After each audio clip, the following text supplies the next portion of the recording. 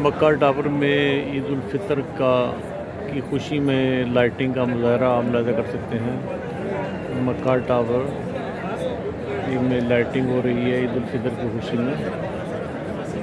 मस्जिद हराम के बाहर मक्का टावर में ये आप मुलाजा कर सकते हैं। मस्जिद हराम। ये मस्जिद हराम और उसके पास मक्का टावर और मक्का टावर में ये लाइटिंग का खूबसूरत नज़ारा। ये आप लगे कर सकते हैं मक्का टावर में लाइटिंग का खूबसूरत नज़ारा।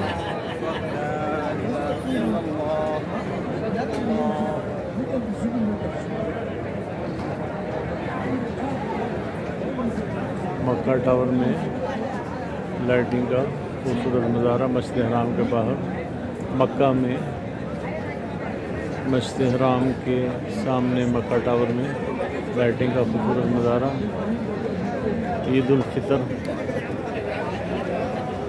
की खुशी में मक्का टावर में लाइटिंग का खूबसूरत नज़ारा आप देख रहे हैं।